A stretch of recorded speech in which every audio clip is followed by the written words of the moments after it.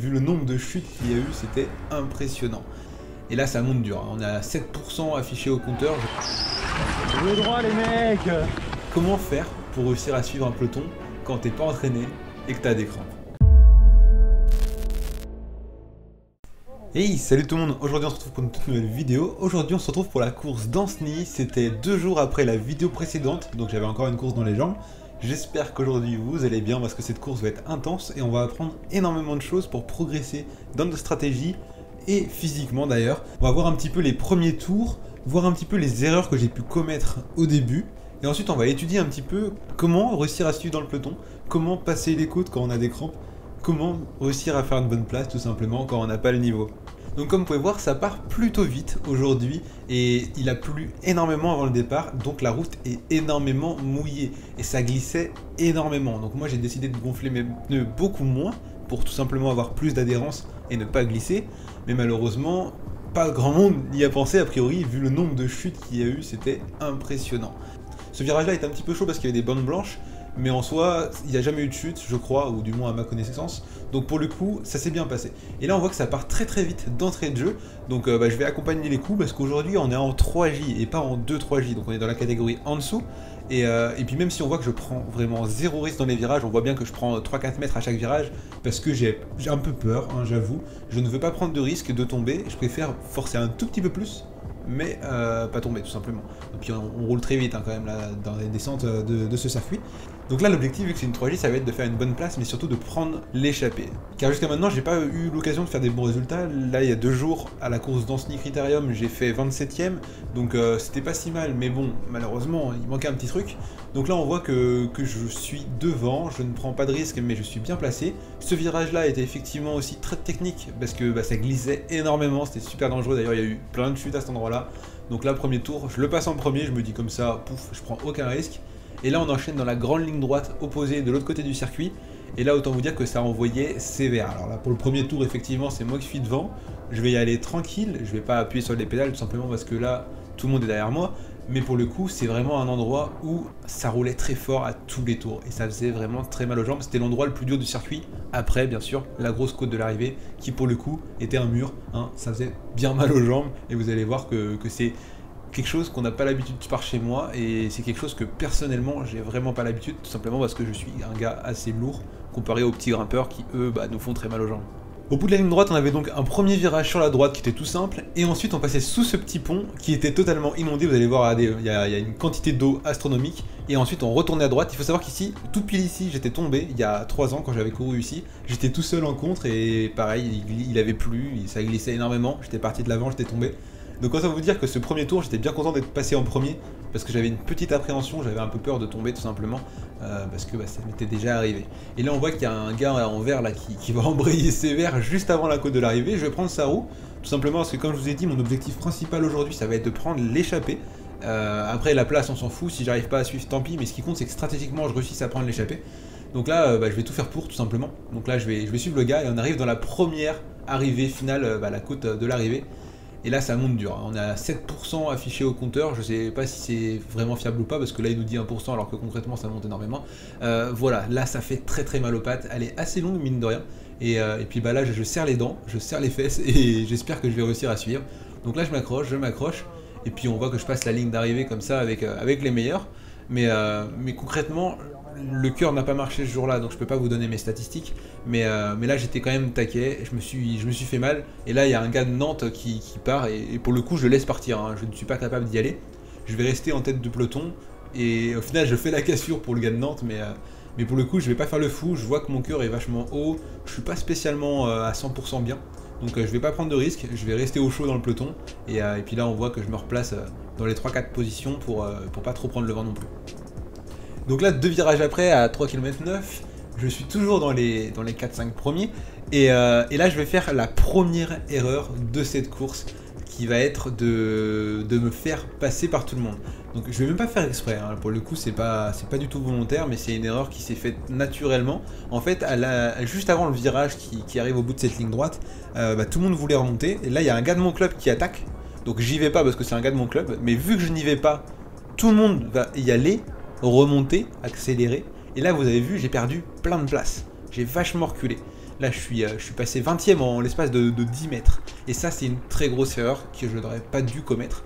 Et, là, je perds beaucoup de temps parce que bah, je suis très très mal placé. et puis là, bah, pour poursuivre une attaque, je ne suis plus en mesure de suivre les attaques si jamais il y en a. Donc aujourd'hui, au départ, il y avait Alban qui vient juste d'attaquer, qui a été très fort toute la course, vous verrez. Il y avait Grégoire qui, lui, était très fort aussi. Et il y avait aussi Elliot au départ. Et ensuite, il y avait mon père et mon frère. Mon père qui a malheureusement pas réussi à suivre. Et mon frère qui a eu peur. Euh, voilà, dès le premier tour, il s'est laissé décrocher, il avait peur, il n'a pas voulu. Et, euh, puis, il n'a pas pris de risque. Du coup, il n'a pas réussi à suivre. Et dans, les 2-3 premiers tours, il s'est fait sortir. Et du coup, il ne sera même pas dans la course. Hein. Considérez qu'il n'a pas fait la course. Il a fait des kilomètres d'entraînement. Donc là, on est dans le virage que je vous disais dangereux. Et au tour président, il faut savoir que j'étais premier à cet endroit-là. Ici, je suis, euh, je suis combien là? Je suis 30e, 40e, et on va voir la différence. Regardez. Là, on enchaîne les petits virages, et on arrive dans la grosse relance que je vous ai parlé tout à l'heure. Tout à l'heure, j'étais premier, je choisissais la vitesse de la relance. Ici, je vais accuser le coup, je vais subir la relance, et là, on voit que bah, du coup, je roule à, 50, et que bah, je serre les fesses, tout simplement, ça roule très très fort. Là, je, je, vois pas mon cœur à combien je suis euh, en direct, mais je peux vous dire que je forçais vraiment beaucoup. Et ça a été ça tous les tours de la course parce que bah, quand tu es mal placé, tu subis les relances. Euh, et là, il faut s'accrocher. À 7 km 8, on va revenir à ce petit virage que je vous ai parlé tout à l'heure. Je suis toujours aussi mal placé, il y a 40 mecs devant moi.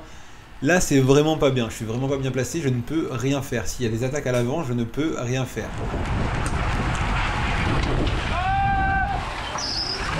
Droit les mecs Oh là là. Allez hop hop hop.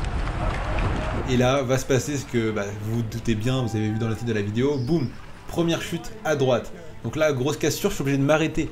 Pendant que ce temps-là, euh, bah, les gens qui sont devant, eux, ils roulent. Hein. et ils se sont pas arrêtés, les autres. Hein.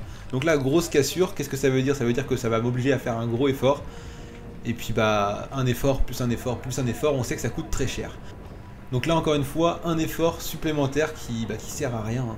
Donc là, je vais, je vais, j'étais un petit peu énervé parce que les gens faisaient n'importe quoi. On prend le virage et là, fou, le gars dans ma roue, il part de l'avant, il tombe. le gars s'est retourné devant moi. Gros chute derrière moi.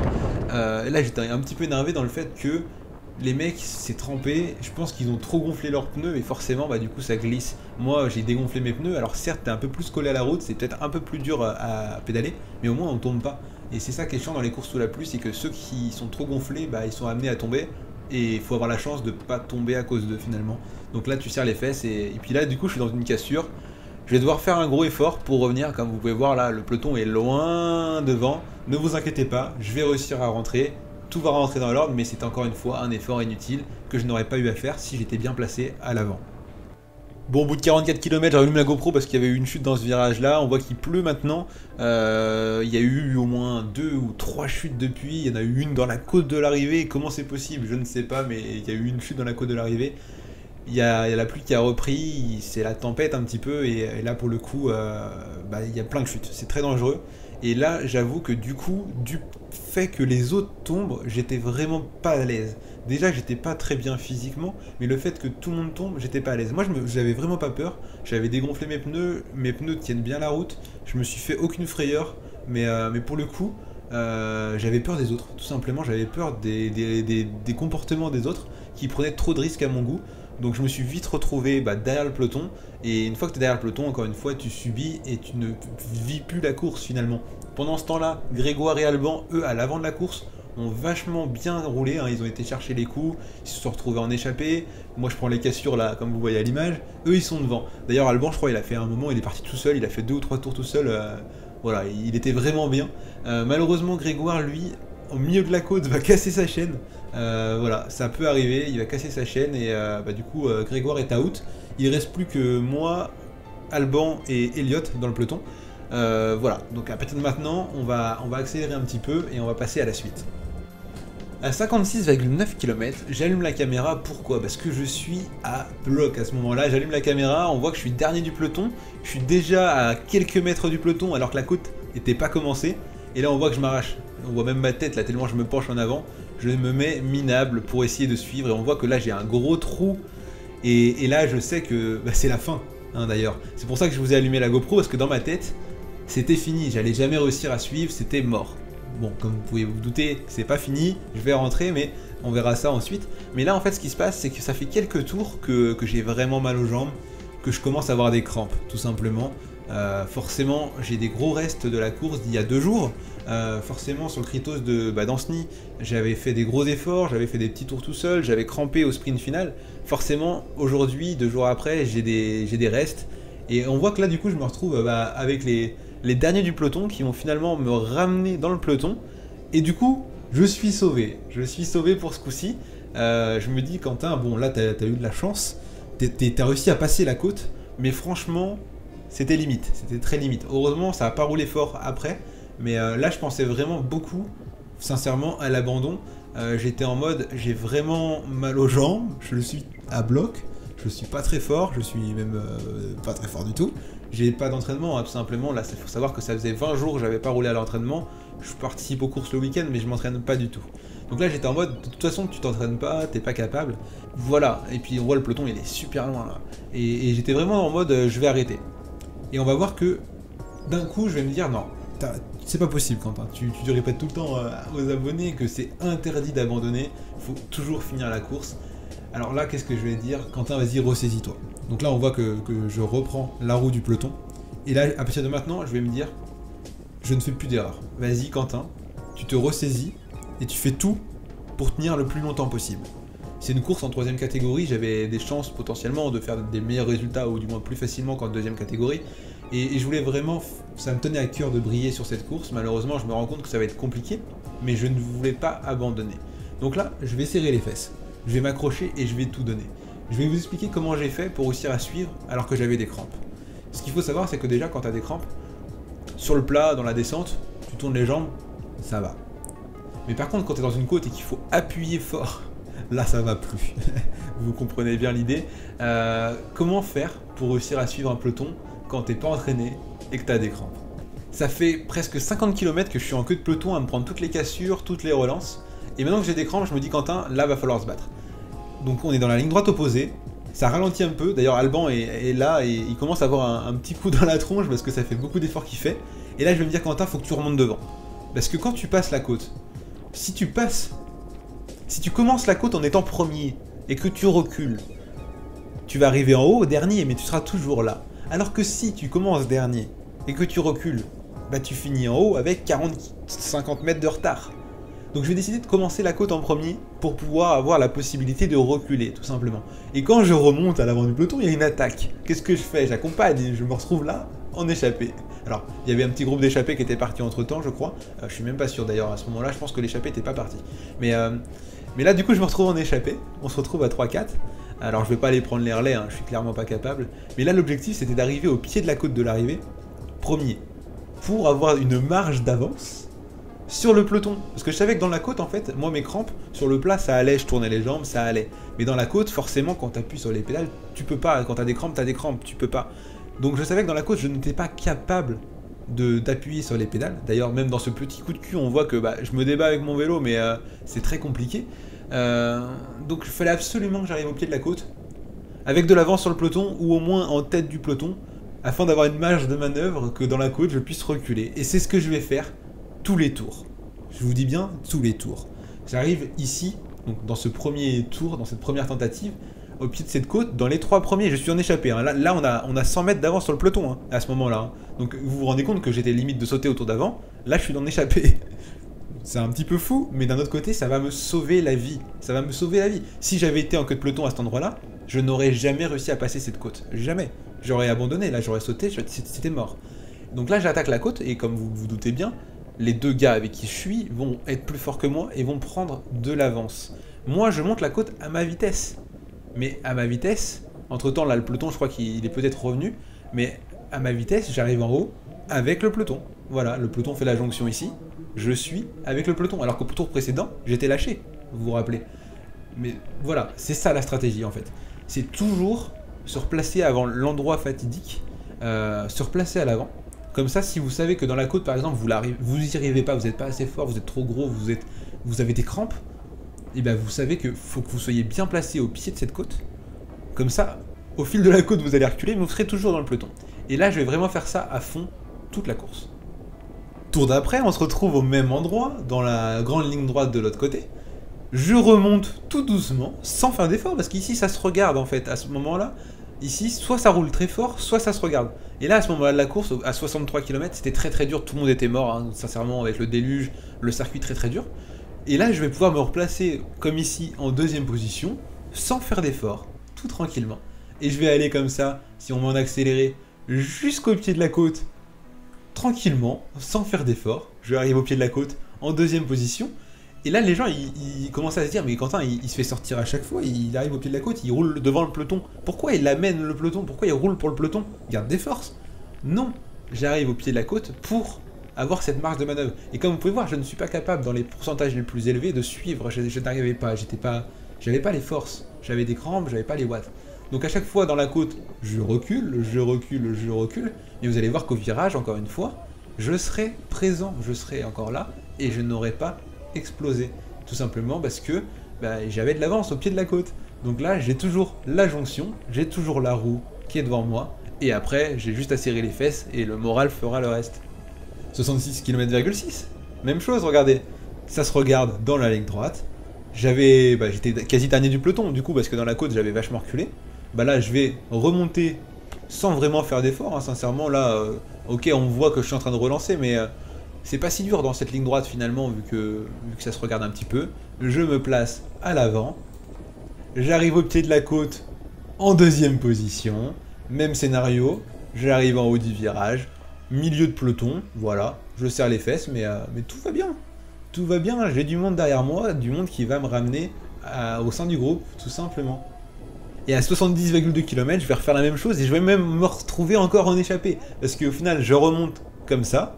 Les gens, les gens commençaient même à capter, hein. ils, me laissaient partir, ils s'en foutaient de moi. Parce que regardez, là, je remonte, je remonte, je vais même attaquer, regardez là, j'attaque. Je me dis, Quentin, là, je commençais vraiment à avoir des grosses crampes, je commençais vraiment à être un bloc. Et là, je me dis, vas-y, ça se regarde tellement, j'attaque, je prends de l'avance, parce que être premier du peloton, euh, c'est bien, mais avoir euh, quelques secondes d'avance, c'est encore mieux. Donc là, j'attaque, sans forcer, hein, je me mets vraiment pas dans le rouge, hein. je, reste au chaud euh, dans ma limite du raisonnable. Et voilà, il y a un mec qui prend le relais, je m'accroche à sa roue, je suis en échappée, on est parti, bon il y a deux gars devant moi je crois, je suis dans la roue du gars, je suis dans une échappée de 4 coureurs, impeccable.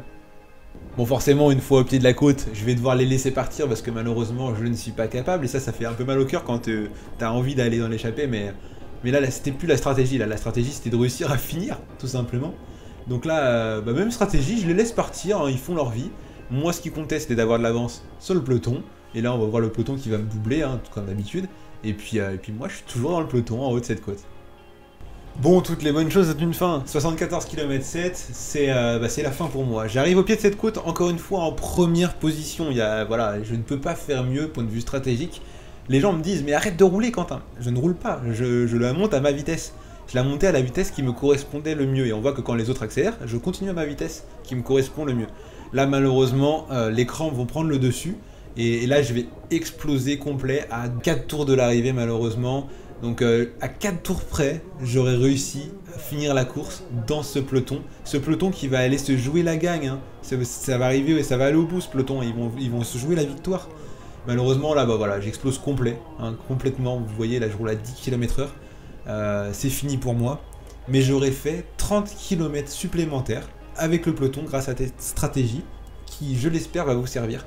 En tout cas, moi, euh, c'est une stratégie que bah, je connaissais, hein, clairement, mais que je n'appliquais pas. Et aujourd'hui, j'ai décidé de l'appliquer.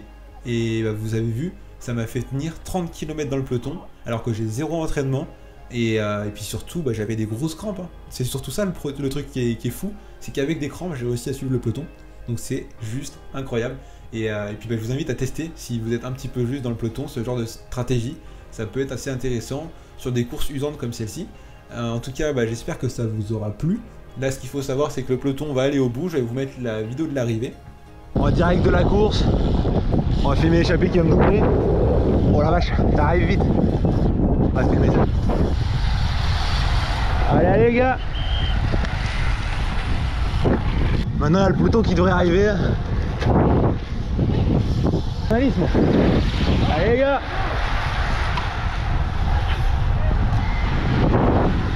Voilà, c'est ça l'effet ça. Dernier tour.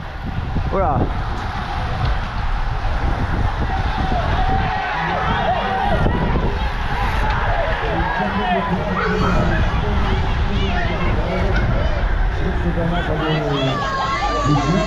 C'est ils vont se jouer la gagne au sprint et puis bah, et puis bah le meilleur a gagné. Bravo à lui.